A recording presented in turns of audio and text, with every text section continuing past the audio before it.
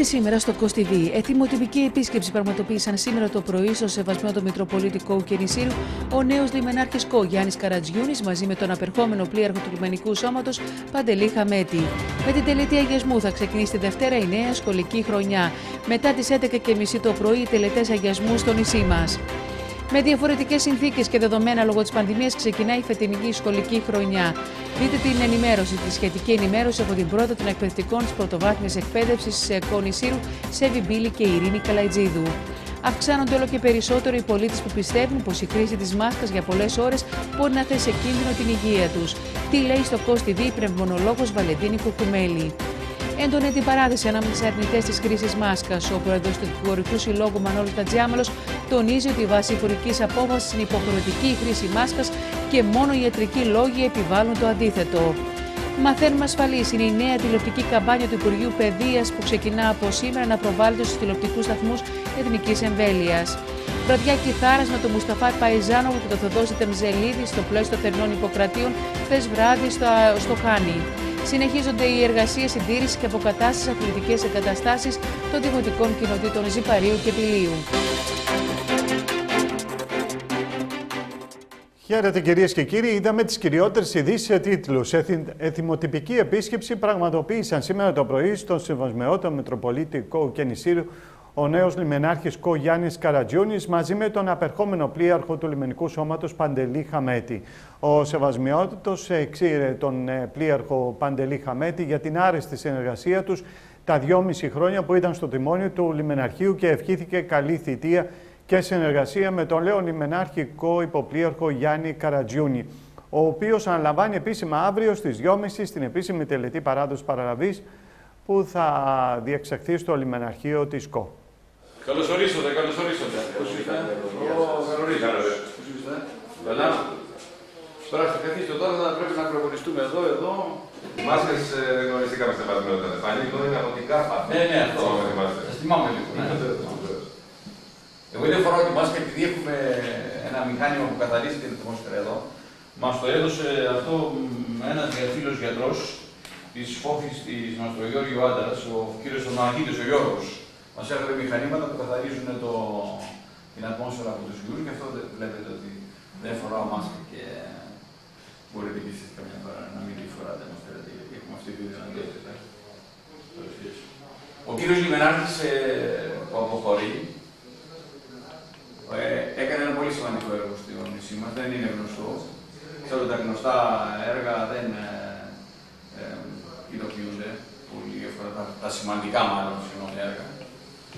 Και εγώ του είμαι υπόχρεος γιατί, ξέρετε, ένας προηγούμενος λιμενάρχης, δεν ξέρω πώς το κατάφερε, και σταμάτησε τα πλοία να σφυράνε στο λιμάνι. Αυτό ήταν πάρα πολύ, με ενόχλησε πάρα πολύ και ενόχλησε, παρατηρούσε ακόμα και μικρά παιδάκια, τα οποία πήγαιναν με τους παππούδες στο λιμάνι να δουν το πλοίο και πολλές φορές με ρώταγαν γιατί δεν σφυράει, ρώταγαν εμένα. Αλλά ξέρετε, για εμάς που μεγαλώσαμε σε αυτά τα νησιά, ε, το πλοίο είναι σημαντικό κομμάτι της ζωής μας. Δηλαδή θέλουμε να το ακούμε όταν μπαίνει στο λιμάνι να σφυράει, όταν φεύγει από το λιμάνι να σφυράει. Θυμάμαι όταν υπηρετούσα στην Κάρπαθο, τον ευλογημένο αυτό τόπο, και πήγαινα σε ανθρώπους μεγάλης ηλικίας που δεν έφευγαν πλέον από το σπίτι τους. Μου έλεγαν οι παππούδε, οι γιαγιάδες, μου έλεγαν Πάτερ, μας κρατάει ζωντανούς ε, το χτύπος της καμπάνας και το σφύριγμα του καραβιού. Δηλαδή, είναι δύο γεγονότα τα οποία ζούσαν οι απλοί άνθρωποι που δεν βγαίναν από το σπίτι τους. Το πρωί χτυπάει η καμπάνα και κατα... κάνανε την προσευχή τους και τα λοιπά. Το βράδυ επίσης κάνανε την προσευχή τους. Και όταν έμπαινε το καράβι στο λιμάνι και σφύριζε όταν έφευγε, αισθανόντουσαν ότι ε, είναι ζωντανοί, συμμετέχουν στον κοινωνικό ιστό, ότι το νησί είναι ζωντανό. Δηλαδή, καμιά φορά έτσι, όταν βλέπω το καράβι να μπαίνει και να μην σφυράει, γιατί είναι και μερικοί καπετάνοι που δεν συμμορφώνονται. Και νομίζω όμως βέβαια αυτό είναι και θεσμοθετημένο και για, για λόγους ασφαλείας σφυράνε τα πλοία όταν μπαίνουν και όταν βγαίνουν.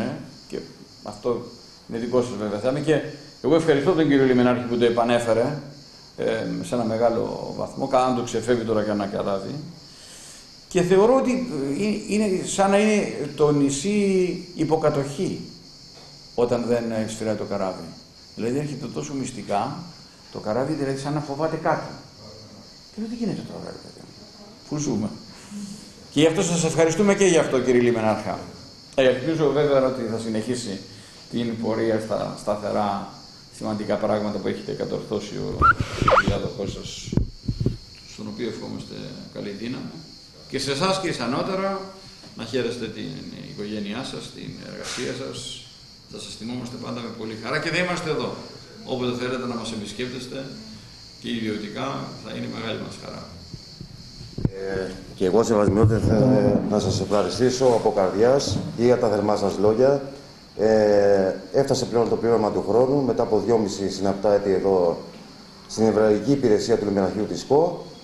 Ε, μετατίθεμαι, δεν πάω μακριά βέβαια, ε, πάω στη Ρόδο ως διοικητής της ε, Περιφερειακής Διοίκησης Λιμενικού Σώματος. Ε, ένα από τα νησιά που θα έχω θα είναι και η ΚΟΣ. Ε, δεν θα την ξεχάσω την ΚΟ. Είναι δυόμιση χρόνια από τη ζωή μας. Ε, δύσκολη υπηρεσία, όπως πολύ δύσκολη υπηρεσία είναι και η Ρόδος. Ε, με αφορμή βέβαια τα ξέρετε και τις τεταμένες σχέσεις με τους απέναντι. Ε, το έχω πει, θα το ξαναπώ για ακόμη μια φορά. Δεν φοβόμαστε κανέναν. Είμαστε εδώ και δεν θέλω να φοβάται και κανένας. Ε, τη εγώ για ακόμη μια φορά θα το πω ότι έχω μέσα στην καρδιά μου, την έχω μέσα στην καρδιά μου. Ε, Σας ευχαριστώ για την ε, ηθική βοήθεια και τη στήριξη που μας είχατε τόσο καιρό και σε μένα προσωπικά και στο Λιμεναρχείο ε, και εύχομαι και σε εσάς ό,τι καλύτερο. Στο συνάδελφο, τον κύριο Καρατζιούνη, τον φίλο τον Γιάννη, είμαι σίγουρος ότι θα επιτύχει στο έργο του, άξιος σημαντικός, επί 5,5 χρόνια στο λιμεναρχείο της Καλύμνου. Ε, έρχεται τώρα στην ΚΟ. Θα συνεχίσουμε να συνεργαζόμαστε από τη νέα μου θέση. Ε, υγεία εύχομαι ε, και είμαι σίγουρος ότι θα επιτύχει στο έργο σου. Ευχαριστούμε πολύ κύριε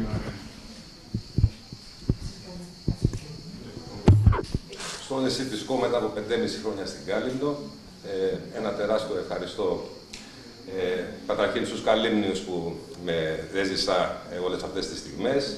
Ε, θα συνεχίσω το δύσκολο και πετυχημένο έργο του πρώην Λιμενάρχη και νυν διοικητή μου με την ευλογία του Θεού γιατί πάντα με την Παναγία στην πλώρη μας ε, και τον Άγιο Νικόλαο όλες οι δυσκολίες ε, ξεπερνιούνται. Θα κάνουμε τα πάντα στην παροχή υπηρεσιών, στο να ε, βελτιώσουμε οποιαδήποτε λεπτομέρεια υπάρχει, αν υπάρχει, στο να κάνουμε καλύτερη, αν το θέλει, την παροχή υπηρεσιών μας.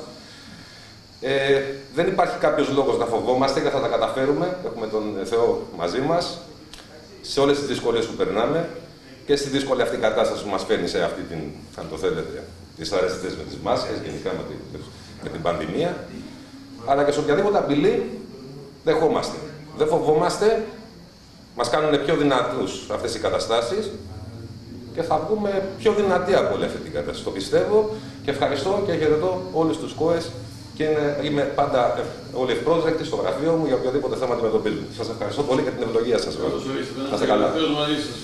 Να είστε καλά. 115 άτομα με σύμβαση εργασίας ιδιωτικού δικαίου ορισμένου χρόνου θα προσλάβει ο Δήμος ΚΟ χρονικής διάρκειας έως 4 μήνες διαφόρων ειδικοτήτων για την κάλυψη έκτακτων αναγκών για την αντιμετώπιση της ανάγκης του περιορισμού της διασποράς του κορονοϊού COVID-19. Η προκήρυξη και η σχετική αίτηση έχει αναρτηθεί στην ιστοσελίδα του Δήμου ΚΟ www.kos.gov.gr ενώ οι αιτήσει κατατίθενται ηλεκτρονικά στην ηλεκτρονική διεύθυνση ε, την οποία ε, προαναφέραμε. Παράταση δόθηκε για την δήλωση των αδήλωτων ε, τετραγωνικών. Οι ιδιοκτήτες ακινήτων μπορούν έως τις 30 Σεπτεμβρίου να διορθώσουν τα τετραγωνικά των ακινήτων τους που είναι δηλωμένα στους Δήμους με βάση τη δήλωση περιουσιακής κατάστασης ε9 που έχουν υποβάλει στην ΑΕΔ στο τετραγωνικά.gov.gr είτε στο γραφείο εσόδων του Δήμου ΚΟ με φυσική παρουσία κατόπιν ραντεβού για την καλύτερη εξυπηρέτηση στο 2242 3 Ερώτηση κατέθεσε προς τον Υπουργό Αγροτικής Ανάπτυξης ο βουλευτής Δακανήσου Νεκτάριου Σαντορινιός και 32 βουλευτές της κοινοβουλευτικής ομάδας του ΣΥΡΙΖΑ αναφορικά με τις τεράστιες απώλειες στον πρωτογενή τομέα των νησιών λόγω της πανδημίας και της έλλειψης επαρκούς στήριξης από το κράτος. Στην ερώτηση την οποία συνυπογράφει ο αρμόδιος τομεάρχης αγροτικής πολιτικής του ΣΥΡΙΖΑ Σταύρος Αραχοβίτης και ο βουλευτής κυκλάδων ε, Ζουρμαλένιος ε, Νίκος τονίζεται ότι η υποβάθμιση που συντελείται στον πρωτογενή τομέα των νησιών και έλλειψη ουσιαστικών μέτρων ενίσχυσής του έχουν επιφέρει σημαντικά προβλήματα βιωσιμότητας στους ανθρώπους της γεωργίας, της κτηνοτροφίας και της αλληλείας. Οι βουλευτές υπογραμμίζουν ε, ότι προτάσεις όπως αυτές ε, του Νοτιού Αιγαίου καθώς και άλλων φορέων του πρωτογενούς τομέα που κατά καιρούς έχουν κατατεθεί πρέπει να ληφθούν σοβαρά υπόψη από την κυβέρνηση καθώς απαντούν με ρεαλιστικό και στοχευμένο τρόπο στις ανάγκες των νησιών. Με την τελετή αγιασμού θα ξεκινήσει τη Δευτέρα 14 Σεπτεμβρίου η νέα σχολική χρονιά, ωστόσο φέτος πέρα την ε, υποχρεωτικής χρήσης μάσκας και των περιορισμών για την προστασία από την διάδοση του κορονοϊού θα υπάρξει άλλη μία διαφοροποίηση. Όπως μας ενημέρωσε ο Μητροπολίτης Κόου και Νησίρο κ. κ. Ναθαναήλ, οι τελετές αγιασμού θα πραγματοποιηθούν στα σχολεία του νησιού μετά τις 11.30, καθώς νωρίτερα θα τελεστούν οι λατρευτικές εκδηλώσεις για τον εορτασμό του Τιμίου Σταυρού. Να δούμε τη συνέντευξη. Όλα τα πράγματα μετά την εμφάνιση του κορονοϊού έχουν γίνει κάπως διαφορετικά αυτό σχεδιάζουν οι πάντες. Ε, το σημαντικό είναι να προσπαθήσουμε να διατηρήσουμε την ουσία και να βάλουμε τη ζωή μας ε, μέσα σε αυτή τη διάσταση χωρίς να χαθεί η ουσία ε, της ζωής μας. Φέτος τα σχολεία ανοίγουν 14 Σεπτεμβρίου, όπως ξέρετε εκείνη την ημέρα είναι η, η ύψωση του Τιμίου Σταυρού, η Εκκλησία μας έχει αυτή τη γιορτή, η Θεία Λειτουργία τελειώνει λίγο αργά, ε, ε, συμφώνησαν το Υπουργείο με την Εκκλησία της Ελλάδος ε, προφανώς ότι μετά τις 11 θα γίνουν οι αγιασμοί. Άρα αλλάζουν οι αγιασμοί, θα γίνουν λίγο αργότερα. Θα γίνουν λίγο αργότερα. Δηλαδή εμείς εδώ θα αρχίσουμε 11.30 ώρα θα αρχίσουν οι αγιασμοί. Θα πάνε, δεν θα, εκείνο που είναι το άσχημο είναι ότι πούμε, εγώ δεν μπορώ να πάω σε όλους τους αγιασμούς που προγραμμάτιζα κάθε χρόνο και πήγαινα διότι θα φτάσει μετά το ωράριο να είναι πολύ άσχημο για τους μαθητές. Δηλαδή ε, ενώ έχουμε ένα μισά, μισή ώρα αγιασμό ε, και κάθε χρόνο μπορούσα να πηγαίνω σε 9 διαφορετικά σχολεία, για παράδειγμα, ή 8. Ε, Φέτος δεν μπορούμε να το κάνουμε αυτό, διότι αφού θα αρχίσουμε 11.30, δεν μπορούμε πάλι να κρατήσουμε μισή ώρα. Διότι... Θα γίνει σε όλο το νησί, φαντάζομαι. Σε, όλα τα σε όλα τα σχολεία θα γίνει και νομίζω και σε όλη την Ελλάδα. Λοιπόν, το θέμα είναι ότι ε, ε αλλάζει και ο τρόπος με τον οποίο θα γίνει ο αγιασμός.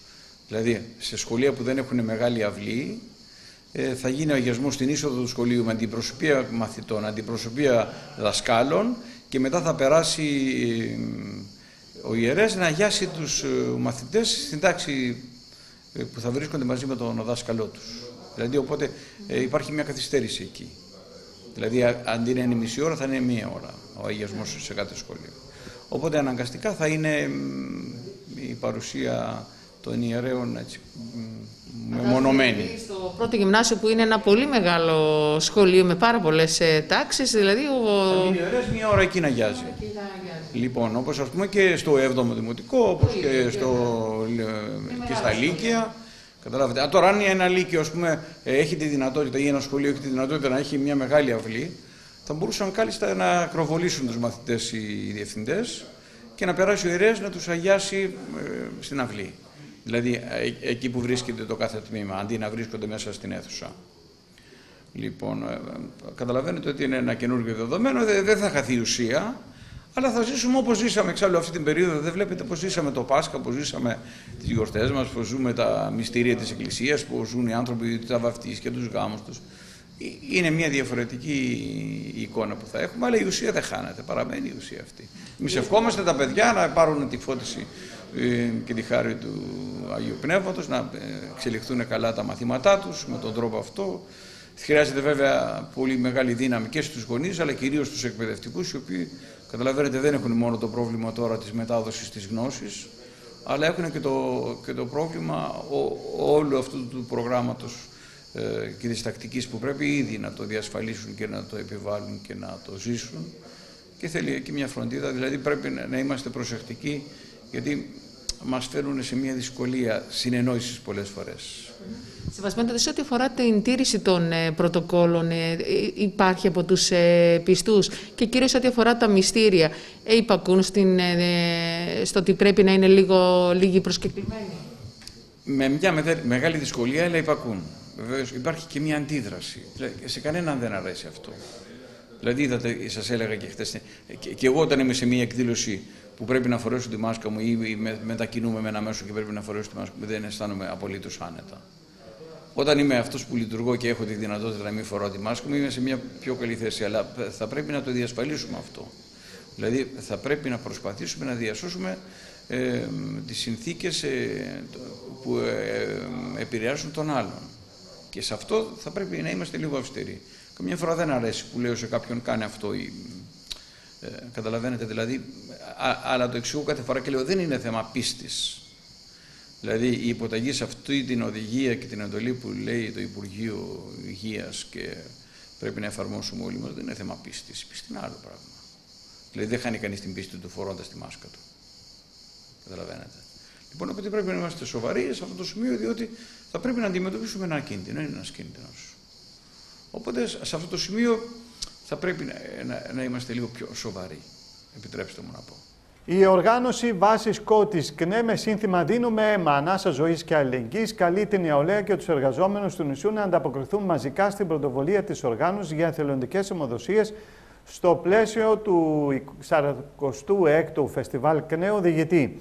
Η αιμοδοσία θα πραγματοποιηθεί από την Παρασκευή 11 του Σεπτέμβρη έως και την 5η 17 Σεπτεμβρίου από τις 8.30 έως τις 1 στο Γενικό Νοσοκομείο Κέντρο Υγείας Κο Ιπποκράτη στο τμήμα αιμοδοσίας. Στα σχολικά να επανέλθουμε, 14 Σεπτεμβρίου θα χτυπήσει το πρώτο κουδούνι της νέας σχολικής χρονιάς με διαφορετικές όμως συνθήκες και δεδομένα λόγω της πανδημίας του κορονοϊού. Η μάσκα θα είναι υποχρεωτική από τον υπηαγωγείο ως το Λύκειο για, όλο, για το όλο αυτό όμως κλίμα που επικρατεί αυτές τις ημέρες.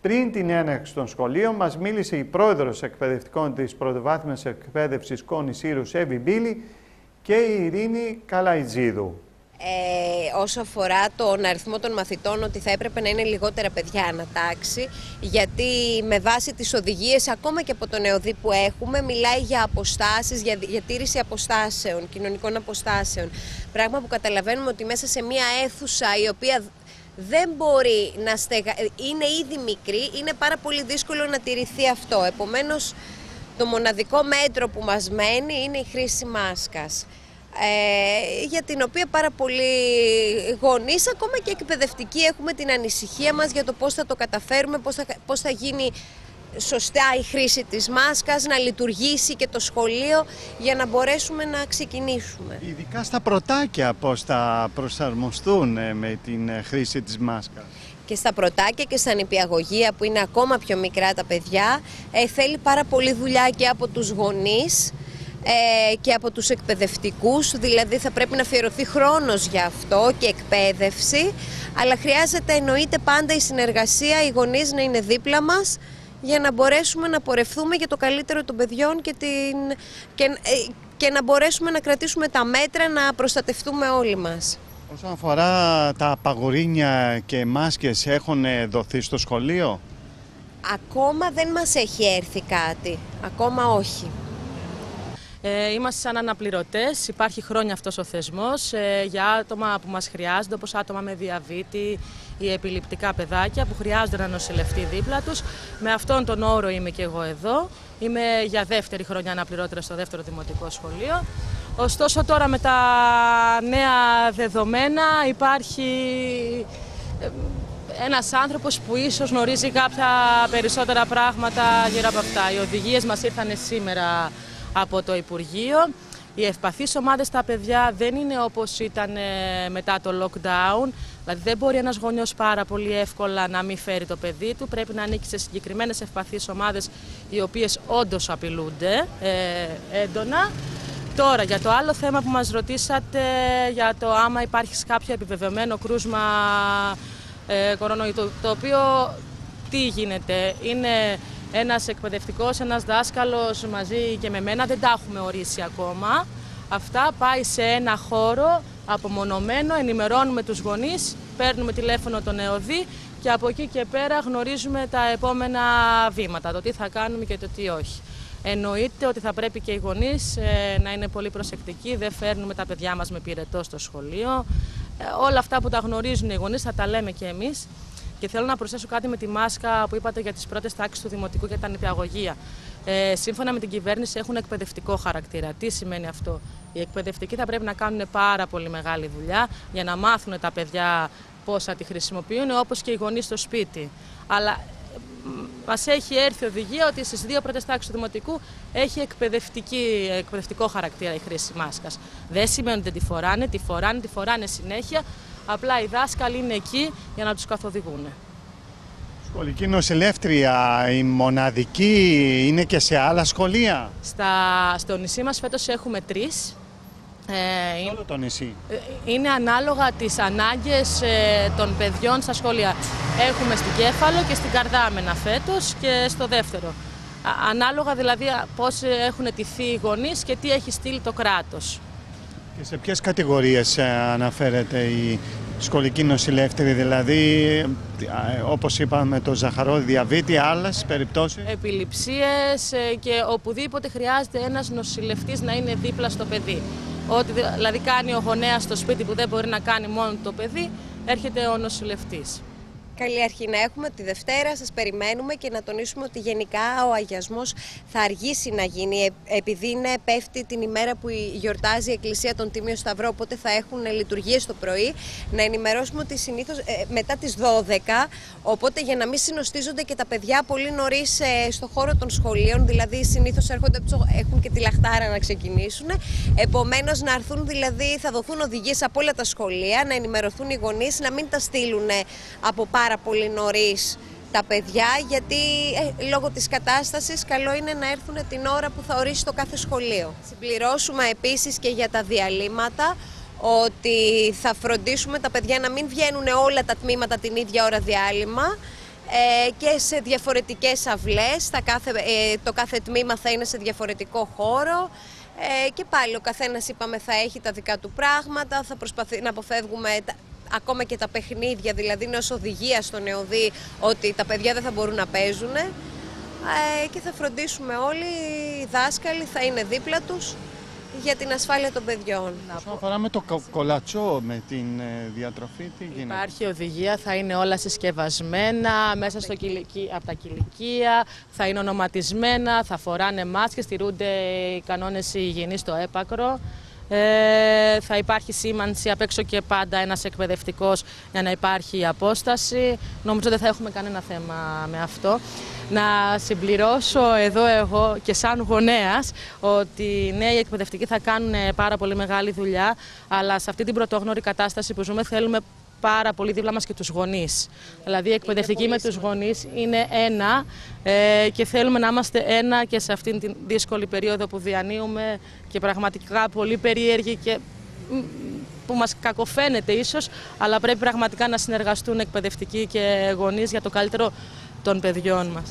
Τώρα τελευταία όμως υπάρχουν και συγκεντρώσεις και κατά της μάσκας, εκεί τι γίνεται; Αν κάποιος γονιός λέει στο παιδί το δεν θα φορέσεις, ενώ είναι υποχρεωτική μέσα στο σχολείο. Είναι υπουργική απόφαση. Δεν... Ναι, ναι, είναι νόμος, δηλαδή δεν, δεν μπορούμε να τον παραβιάσουμε. Αυτό πρέπει οι γονείς να καταλάβουν ότι εάν θέλουν να προστατεύσουν τα παιδιά τους θα πρέπει να φορέσουν τη μάσκα ε, και να ζητάνε μονίμως περισσότερους δασκάλους για τα παιδιά τους και λιγότερα τμήματα. Δηλαδή το να, να, να είμαστε ε, απόλυτοι και να λέμε όχι στη μάσκα χωρίς να κάνουμε μια αντιπρόταση δεν έχει νόημα.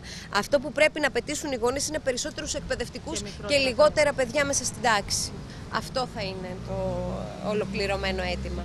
Για τη Δευτέρα 21 Σεπτεμβρίου στις 11 μετατέθηκε η ηλεκτρονική αποσφράγηση των προσφορών που συμμετέχουν στη διαπραγμάτευση για την επιλογή αναδόχου κατασκευής του έργου επισκευή αποκατάσταση του σεισμόπληκτου ε, του Ιερού Ναού Αγίου Νικολάου Νήσουκο λόγω της ε, προδικαστικής προσφυγής του οικονομικού φορέα ή μια τεχνική ΑΕ ενώπιον της αρχή, αρχής εξέτασης προδικαστικών ε, προσφυγών. Τώρα, αυξάνονται όλο και περισσότερο οι πολίτες που πιστεύουν πως η χρήση της μάσκας για πολλές ώρες μπορεί να θέσει σε κίνδυνο την υγεία τους, ιδίως σε όποιους αντιμετωπίζουν αναπνευστικά προβλήματα με αποτέλεσμα να μην τη φορούν, αυξάνοντας έτσι τον κίνδυνο της διασποράς του ιού. Σε συνέντευξη στο COS TV, η πνευμονολόγος Βαλεντίνη Κουρκουμέλη αναφέρει ότι δεν υπάρχει κίνδυνος από τη χρήση της μάσκας και ότι η χρήση της μας προστατεύει από τον ιό. Ας την ακούσουμε. Τώρα που βγαίνουμε από το σπίτι, μπαίνει στη ζωή μας η μάσκα. Μπορεί να είναι μάσκα μίας χρήσης ή και υφασμάτινη μάσκα πολλαπλών χρήσεων. Η σωστή χρήση της μάσκας είναι το κλειδί για την αποτελεσματικότητά της. Ε, υπάρχουν ε, Ε, υπάρχουν ε, και ειδικοί λοιμοξιολόγοι, πολύ καλοί συνάδελφοι, ε, οι οποίοι είναι περισσότερο γνώστες του θέματος για τη μάσκα. Από τα σημερινά δεδομένα και την ε, παρακολούθηση που κάνουμε, επειδή παρακολουθώ ε, τα θέματα από κοντά, ε, η μάσκα είναι το μόνο μέσο που προστατεύει από την εξάπλωση του κορονοϊού. Μέχρι να βρεθεί το εμβόλιο και αντιμετώπιση ε, με εμβόλιο αποτελεσματικό για την νόσο του COVID-19, η, μάσα, η μάσκα ε, απομακρύνει τις πιθανότητες να μεταδώσει τον ιό στους γύρω μας. Μαζί με τα άλλα θέματα της ε, ε αποστάσης, ε, της υγιεινής και αυτή τη στιγμή πιστεύω σε μεγάλους και σε μικρούς είναι απαραίτητο. Ε, αυτά βέβαια θα εξεταστούν πιο καλοί παιδίατροι και οι λοιμοξολόγοι ξέρουν και ειδικοί παιδιατρικοί στην Αθήνα κτλ. Από ό,τι έχω διαβάσει τις μελέτες ε, δεν έχει βρεθεί πρόβλημα ότι προκαλεί προβλήματα στα παιδιά. Και καλό είναι να προσέχουμε ε, και εμείς οι μεγάλοι τι γράφουμε και τι αναρτώμε στα διαδίκτυα γιατί είναι θέμα υγείας, όχι μόνο των παιδιών αλλά και τους ιούς αν τυχόν μεταφέρουν και στο σπίτι που υπάρχουν οι γιαγιάδες, οι παππούδες και πιο μεγάλα άτομα. Λένε περισσότερο ότι ένα παιδί δεν θα μπορέσει να προσαρμοστεί στο θέμα της μάσκας, άρα είτε φοράει είτε δεν τη φοράει. Ε, ε δεν έχει το αποτέλεσμα που πρέπει. Όχι. Εγώ πιστεύω αδικούμε πολύ τα παιδιά.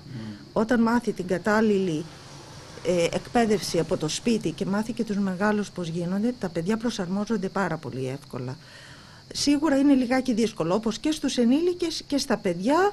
Ε, η μάσκα όταν τη βάζουμε, διότι προκαλεί κάποιο αίσθημα δυσφορίας.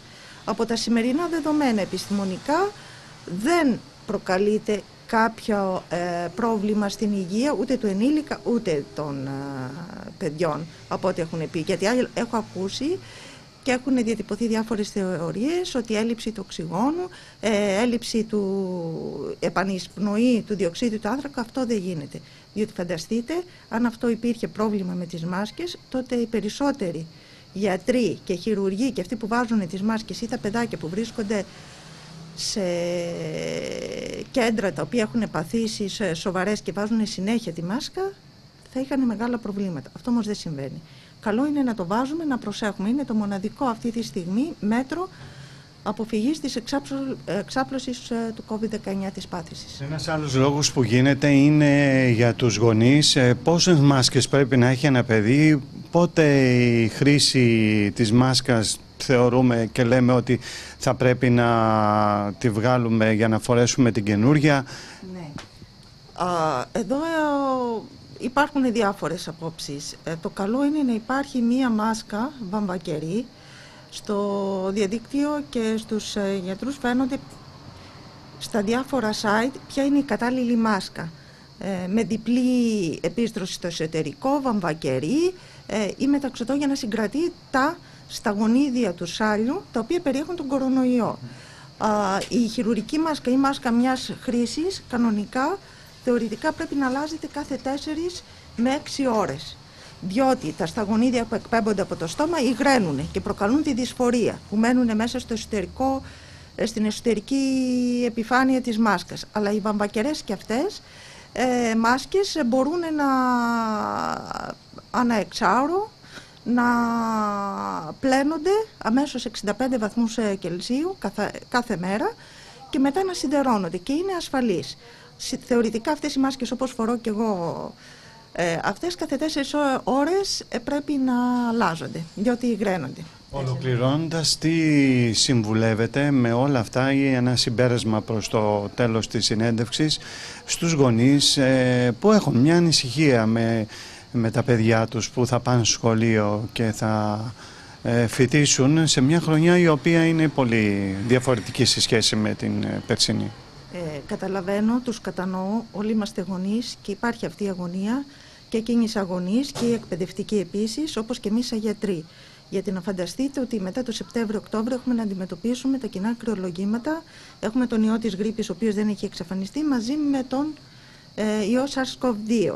Άρα θα πρέπει να προσπαθήσουμε να πείσουμε τα παιδιά να κρατούν τις αποστάσεις, να φορούν τη μάσκα, η εκπαίδευση, να ακούν τους επιστήμονες και όχι διάφορες ε, θεωρίες συνωμοσίας, πώς γνωστό σε μια μεγάλη κρίση πάντοτε θα υπάρχουν και θα ε, αναρτώνται στο διαδίκτυο ε, και πιστεύω ότι όλα θα πάνε καλά το χειμώνα. Τηρώντας, τα μέτρα, Τηρώντας πάντα τα μέτρα, τις αποστάσεις, τα χέρια, ε, πλήσιμο, ό,τι κάνουμε και στους συνηθισμένους ιούς της γρήπης ε, ένας λόγος παραπάνω με τον ιό αυτό, τον ε, SARS-CoV-2, με την όσο του COVID-19. Καταλαβαίνω, και εγώ γονιός είμαι, καταλαβαίνω την ανασυχία, αλλά πρέπει όλοι να προσέχουμε σε αυτή τη μερία.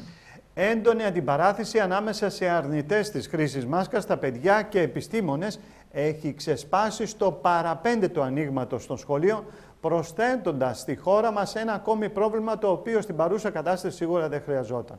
Αφορμή έδωσαν οι συγκεντρώσεις κατά της μάσκας στα σχολεία που πραγματοποιήθηκαν σε ολόκληρη την Ελλάδα την Κυριακή.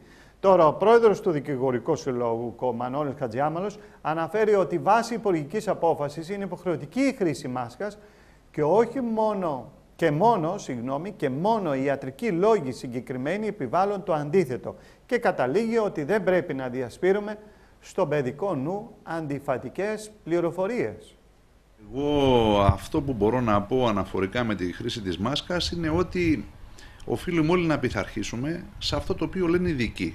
Νομίζω, φίλε Γιώργο, δεν είναι δουλειά δική μας να πούμε και να εκφραστούμε αναφορικά με την αναγκαιότητα στη χρήση της μάσκας. Είναι δουλειά των γιατρών, είναι δουλειά των ειδικών. Εάν λοιπόν οι ειδικοί ε, λένε ότι η χρήση της μάσκας επιβάλλεται, εμείς οφείλουμε άκρητα, χωρίς να αμφισβητούμε αυτή τη γνώμη τους, να πειθαρχούμε. Από την πλευρά μου, πραγματικά μου κάνει εντύπωση όταν έχουμε ένα επίσημο κρατικό φορέα, ο οποίος επιβάλλει και περνάει σε νόμο τη χρήση της μάσκας, λέει δηλαδή ότι ο, ο εθνικός οργανισμός λέει ότι επιβάλλεται η χρήση της μάσκας και η πολιτεία ακολουθώντας επιτακτικά αυτή την επιταγή των ειδικών το περνάει σε νόμο και λέει υποχρεωτική η χρήση της μάσκας στους εταιρικούς χώρους και όπου αλλού θεωρώ ότι είναι επικίνδυνο να εκφράζουμε μία άλλη άποψη εάν δεν είναι ε, απόλυτα τεκμηριωμένη και με όση γνώση έχω και με τα ακούσματα και ε, με τις πληροφορίες που έχω και ε, τις εφημερίδες όλα συντείνουν στο ότι η μάσκα πρέπει να είναι υποχρεωτική διότι αποτρέπει τη διασπορά. Όσον αφορά το νομικό κομμάτι που με ρωτάτε, νομικά έχει θεσμοθετηθεί, έχει βγει μια υπουργική απόφαση η οποία είναι ουσιαστικά το ποινολόγιο και η οποία υπουργική απόφαση λέει σε ποιους χώρους είναι υποχρεωτική η χρήση της μάσκας, στους εσωτερικούς χώρους και οι παραβάτες της τι υφίστανται. Το πρόβλημα, αν θέλετε, είναι ενδεχομένως για τα σχολεία και για τα μικρά παιδιά, όπου και εκεί είναι υποχρεωτική η μάσκα πλην κάποιων εξαιρέσεων, όταν δηλαδή ιατρικοί λόγοι συγκεκριμένοι κάποια πάθηση ενός παιδιού, κάποια πάθηση ενός άνθρωπου. Ακριβώς. Μόνο όταν ειδικοί λόγοι σε συγκεκριμένο πρόσωπο επιβάλλουν το αντίθετο, μόνο τότε ε, υπάρχει αυτή η εξαίρεση της μη χρήσης. Σε διαφορετική περίπτωση θεωρώ ότι είναι επικίνδυνο να εκφράζουμε οποιοδήποτε άλλο επιχείρημα υπέρ της μη χρήσης της μάσκας. Και πραγματικά εκπλήσουμε με αυτές τις διαδηλώσεις που βλέπω και συμβαίνουν στην Αθήνα, στη Θεσσαλονίκη και όπου αλλού ανά την Ελλάδα. Μάλιστα ξέρετε ότι υπάρχει, υπάρχει είναι ποινικό αδίκημα πλέον από ένα σημείο και πέρα όποιος διασπείρει τέτοιες ειδήσεις οι οποίες δεν είναι συμβατές με την επίσημη γραμμή του Εθνικού Οργανισμού Υγείας. Θα έπρεπε δηλαδή αυτεπάγγελτα, και νομίζω το έχει κάνει, θα έπρεπε αυτεπάγγελτα να ε, επέμβει ο εισαγγελέας όπου εκδηλώνονται τέτοιου είδους αντιδραστικές κινήσεις σε βάρος της ε, εφαρμογής του νόμου. Στα σχολεία λοιπόν για να το κλείσω, όποιο παιδί έχει πρόβλημα θα πρέπει πιστοποιημένα με ιατρική βεβαίωση να ε, αποδεικνύεται η πάθησή του, στην οποία πάθησή του αντενδείκνυται η χρήση της μάσκας, έτσι ώστε το παιδί αυτό να εξαιρείται. Και εφόσον εξαιρείται, να λαμβάνει το σχολείο κάποια ειδικά μέτρα για αυτό το παιδί.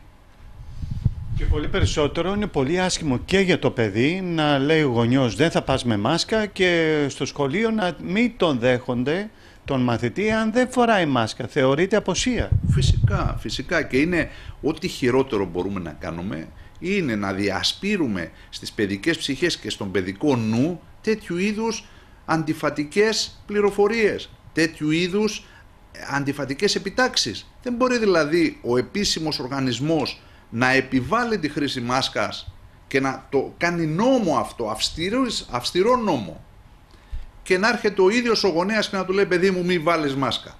Καταλαβαίνετε αυτό το παιδί αύριο μεθαύριο δεν θα έχει εμπιστοσύνη σε τίποτα. Ό,τι και αν ακούει από οποιονδήποτε επίσημο φορέα. Γιατί δεν ξέρω αν ε, κάνω τραγικό λάθος. Εγώ δεν έχω διαβάσει κανένα ε, δημοσίευμα, δεν έχω ε, δει καμιά μελέτη επίσημη η οποία να λέει ότι ένας άνθρωπος ο οποίος δεν πάσχει από κάποιο συγκεκριμένο νόσημα να τον βλάπτει η χρήση της μάσκας. Ενδεχομένως να μας ζεσταίνει, να μας κουράζει, ενδεχομένως να, ε, ξέρω εγώ, να μας προκαλεί μια δυσφορία. Ναι, αλλά, αλλά πρέπει να δούμε ποιο είναι το μείζον. Πρέπει να δούμε ποιος είναι ο λόγος για τον οποίο επιβάλλεται η χρήση της. Εάν η χρήση της λοιπόν μας προκαλεί κάποια δυσφορία και μας ενοχλεί στην καθημερινότητά μας, το διακύβευμα είναι πολύ πιο σοβαρό από αυτό το οποίο πρόσκαιρα μας δημιουργεί. Άρα λοιπόν δεν πρέπει επουδενή να διασπείρονται και ιδίως στα παιδιά τέτοιες αντιφατικές ε, πληροφορίες, ιδίως από τους γονείς. Και όπου και αν ακούν τα παιδιά, πρέπει εμείς να τους διώχνουμε από το μυαλουδάκι τους τέτοιου είδους ειδήσεις που δεν εδράζονται στα επιστημονικά δεδομένα είναι ξεκάθαρο και το έχουμε αποδείξει, ιδίως εμείς σαν, σαν ελληνική κοινωνία, ότι ακούμε τους ειδικούς. Γι' αυτό και πήγαμε μπροστά. Δηλαδή, φέραμε καλά αποτελέσματα όπως η διεθνής κοινότητα παραδέχεται για την Ελλάδα. Γι' αυτό ακριβώς, επειδή ακούμε από την πρώτη στιγμή τους ειδικούς, επειδή τους ακούσαμε από την πρώτη στιγμή. Αυτό οφείλουμε να κάνουμε και τώρα. Κακώς λοιπόν και όποιοι το λένε πρέπει να ανασκευάσουν την άποψή τους και να συνταχθούν με την επίσημη επιστημονική γραμμή που είναι η χρήση της μάσκας. Να περάσουμε σε ανακοινώσεις. Η συμβολική εκδήλωση θα πραγματοποιήσει η Ολομέλεια των Προέδρων των Δικηγόρων Συλλόγων της χώρας στο Καστελόριζο στα μέσα Σεπτεμβρίου, η οποία θα αφορά τις θαλάσσιες ζώνες με έμφαση σε θέματα ΑΟΣ και υφαλοκρηπίδας, ενώ στην εκδήλωση θα συμμετάσχει και ο τέος πρόεδρος της Δημοκρατίας, κ. Προκόπης Παυλόπουλος. Οι λάτρες της φύσης και των εναλλακτικών δραστηριοτήτων συναντήθηκαν στην πρώτη διεθνή τουριστική έκθεση που άνοιξε τις πύλες στη Γερμανία μετά την καθολική ακύρωση των μαζικών ε, διοργανώσεων διεθνών λόγω πανδημίας. Η έκθεση Tour Natur 2020 πραγματοποιήθηκε στο Düsseldorf από τις 4 έως τις 6 Σεπτεμβρίου, φιλοδοξώντας να στείλει πρώτη το αδιέξοδο μήνυμα για τη σταδιακή επάνωδο στην κανονικότητα. Ο ελληνικός τουρισμός έδωσε το δικό του παρόν στην έκθεση, προβάλλοντας το φυσικό κάλος και τις πολυάριθμες δυνατότητες της χώρας μας για εναλλακτικό τουρισμό και δραστηριότητες όπως το περπάτημα και υποδελασία όλων των βαθμίνων, βαθμίδων δυσκολίας. Μαθαίνουμε, ασφαλής είναι η νέα τηλεοπτική καμπάνια του Υπουργείου Παιδείας και Θρησκευμάτων. Ξεκινά από σήμερα να προβάλλεται στους τηλεοπτικούς σταθμούς εθνικής εμβέλειας, προκειμένου να υπογραμμίσει τα μέτρα προστασίας και πρόληψης. Ιδιαίτερα δε την ενδεδειγμένη χρήση μάσκας, αλλά και να αποκρούσει ανυπόστατες θεωρίες που παρακινούν στην παράβαση των κανόνων προφύλαξης από το νέο κορονοϊό. Τώρα που ανοίγουν τα σχολεία, είναι πολύ σημαντικό να γίνουμε όλοι σύμμαχοι στην προσπάθεια να νικήσουμε τον κορονοϊό. Γι' αυτό ακολουθούμε όλοι τους κανόνες. Σε εσωτερικούς χώρους, αίθουσες, διαδρόμους, αλλά και σχολικά, η χρήση μάσκας είναι υποχρεωτική, από τον υπηαγωγείο έως την τρίτη ηλικίου. Είναι ο καλύτερος τρόπος να προστατευτούμε και να μειώσουμε τη διασπορά του ιού. Πλένουμε συχνά και σχολαστικά τα χέρια μας. Αποφεύγουμε να ανταλλάσσουμε αντικείμενα μεταξύ μας. Στα διαλύματα δεν ξεχνάμε να τηρούμε τα μέτρα προστασίας. Ακολουθούμε με προσοχή τις οδηγίες των δασκάλων και καθηγητών μας. Έτσι, όλοι μαζί θα κερδίσουμε τη μάχη. Για περισσότερες πληροφορίες επισκεφτείτε την ιστοσελίδα μαθαίνομασφαλής.gov.gr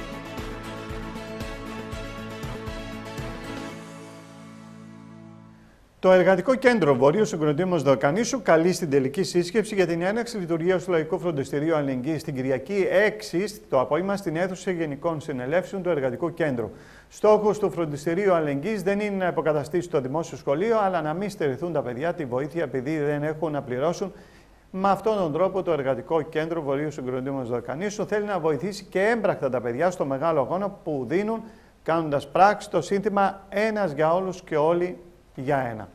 Το Λύκειο Ελληνίδων Κόνη ενημερώνει πως έχουν ξεκινήσει οι εγγραφές των, των παραδοσιακών χωρών. Τα μαθήματα θα ξεκινήσουν στις 3 Οκτωβρίου με ολιγομελή τιμήματα. Τώρα η σχολή χορού Απελή ανοίγει ξανά τις πόρτες της με στόχο να υποδεχτεί όλους τους νεαρούς χορευτές, τα παιδιά και τους ενήλικες που ήδη βρίσκονται κοντά στο σύλλογο, αλλά και όσους επιθυμούν να μπουν και να γνωρίσουν τη μεγάλη μας οικογένεια των τεχνών και του πολιτισμού, πραγματοποιώντας τα νέα τους βήματα στο χορό.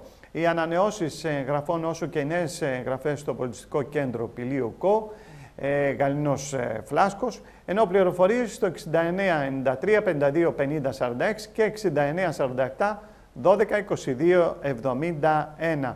Έκτη ζωγραφικής και χειροτεχνίας Ζωγραφική Επιξύλου με πρωτότυπα χειροποίητα ντεκόρ για το σπίτι διοργανώνει η Τίνα Διακαναστά στο Ιστορικό και Λογραφικό Μουσείο ΚΟ από την Παρασκευή 11 μέχρι την ε, Κυριακή 13 Σεπτεμβρίου. Η έκθεση θα είναι ανοιχτή για το κοινό από τις 10 το πρωί έως τις 2 το μεσημέρι και από τις 6 το απόγευμα μέχρι τις 9 το βράδυ. Τώρα για περισσότερες πληροφορίες μπορείτε να επισκεφτείτε στη σελίδα στο Facebook. Ξεκινούν τα μαθήματα γεωγραφίας, παιδικής ζωγραφικής και ενηλίκων από το εργαστήρι της Μαρίας Βαμβακούση. Τα προγράμματα ξεκινούν τον Οκτώβριο με ολιγομελή τιμήματα και θα τηρούνται όλα τα μέτρα ασφαλείας. Να περάσουμε και στα φαρμακεία Παπαδάκια Θανασία Βασιλέως Γεωργίου 7, 2242 028 449 το τηλέφωνο, ενώ στο Ζιπάρι Παλαντζίδο Αναστασία 2242 1 16-8-52. Και να περάσουμε και στην αθλητική μας ενημέρωση.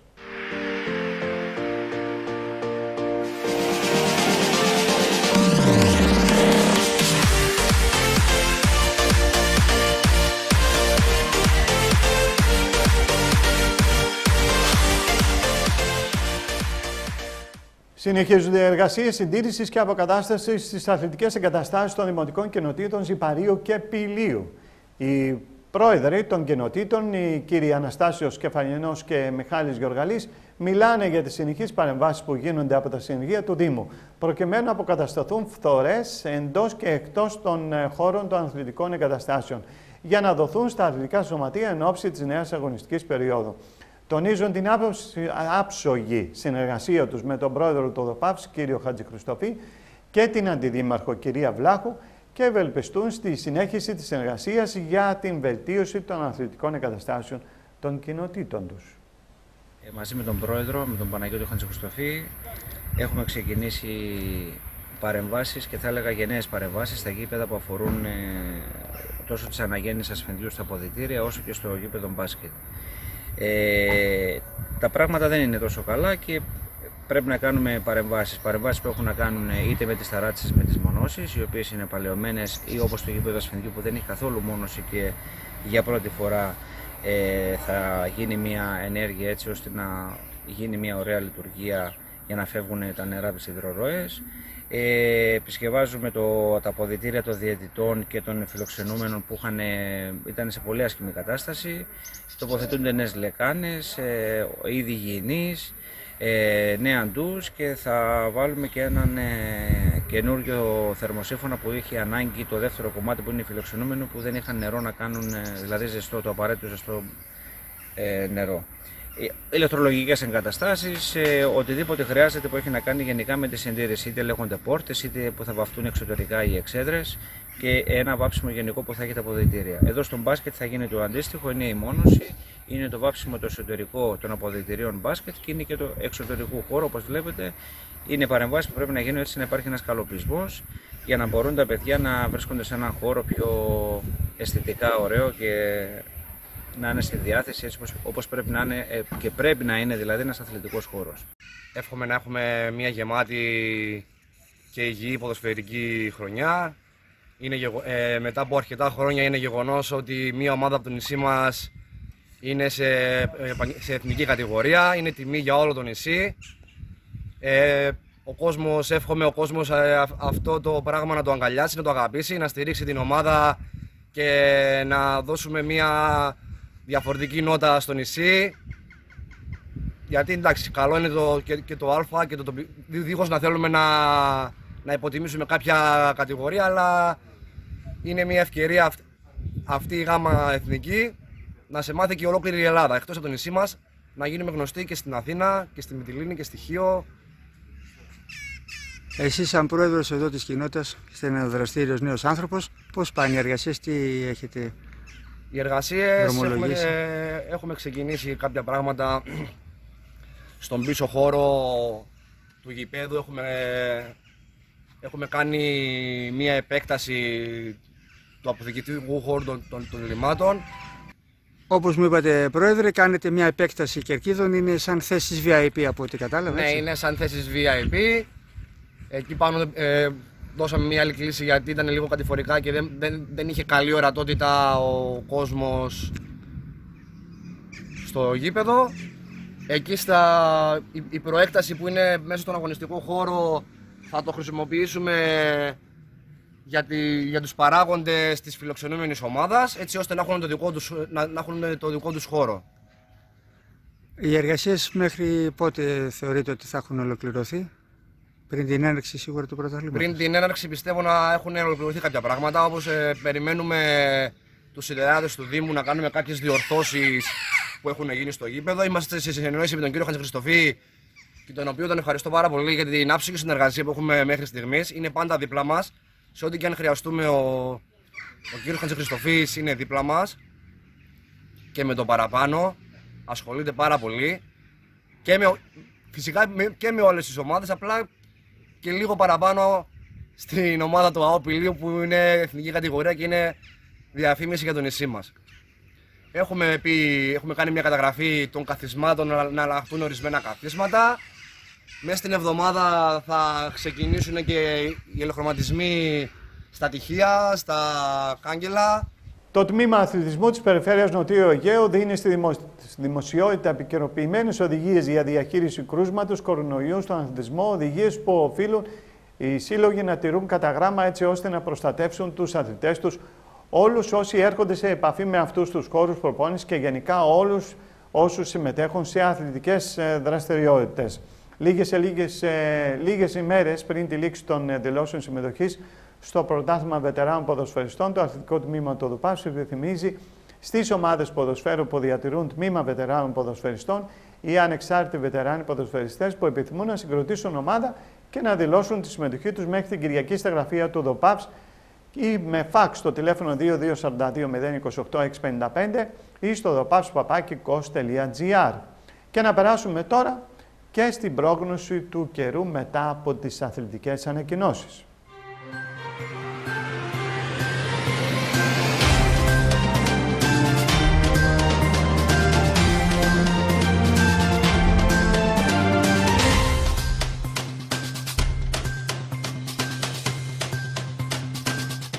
Έθριος προβλέπεται για αύριο καιρό στην περιοχή μας. Η άνεμη θα πνέουν βόρειο-δυτική με ένταση 3 με 4 μποφόρ. Η θερμοκρασία θα πέσει σε σχέση με χθες και προχθές από 22 στους 28 βαθμούς Κελσίου. Κυρίες και κύριοι, σε αυτό το σημείο φτάσαμε στο τέλος. Έτσι κατέγραψε η κάμερα του Κώστη Β τη σημερινή επικαιρότητα. Από όλους εμάς, καλή συνέχεια, καλό σας βράδυ.